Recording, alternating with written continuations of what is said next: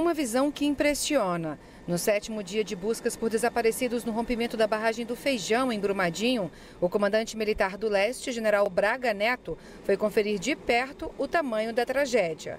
Lá de cima, é possível ver o ponto em que a lama de rejeitos de minério encontra o rio Paraupeba. Também dá para ter uma dimensão dos estragos. Dependendo desse acidente, é, o volume de recursos aportados, em vez de auxiliar, ele tumultua. E eu pude constatar em loco que a área realmente ele é muito restrita. E pude ver também a integração em, em, contato com o coordenador de defesa civil do Estado, com o comandante do bombeiro, o comandante da PM, agora há pouco, que a coordenação entre as agências está muito bem realizada, está sendo muito bem realizada. No centro de comando das operações, Braga Neto foi recebido pelos representantes da Defesa Civil e do Corpo de Bombeiros.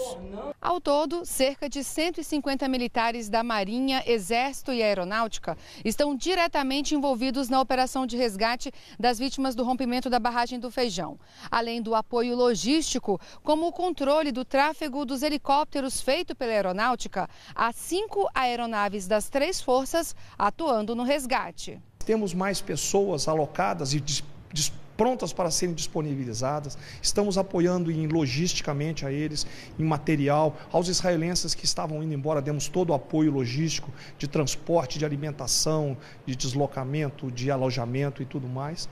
E as Forças Armadas estão aqui, particularmente o Comando Militar do Leste, para atender às demandas que eles, à medida que eles forem sentindo necessidade, nos relatarem. Os militares brasileiros também auxiliaram o trabalho dos cerca de 130 militares israelenses que chegaram ao Brasil no domingo e encerraram as atividades nesta quinta-feira. Na despedida, os israelenses participaram de uma cerimônia em Belo Horizonte e receberam presentes como forma de agradecimento.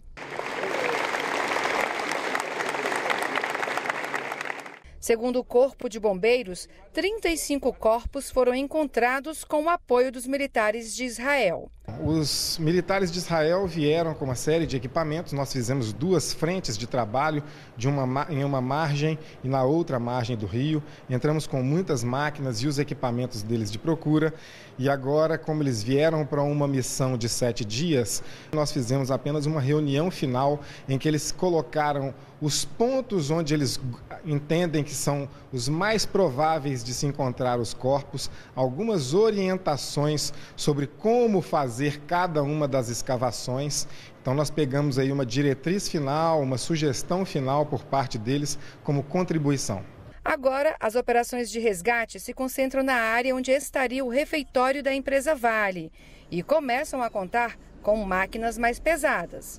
Nesse momento, nós já entramos em uma fase de aproveitar o trabalho dos cachorros e de algumas máquinas.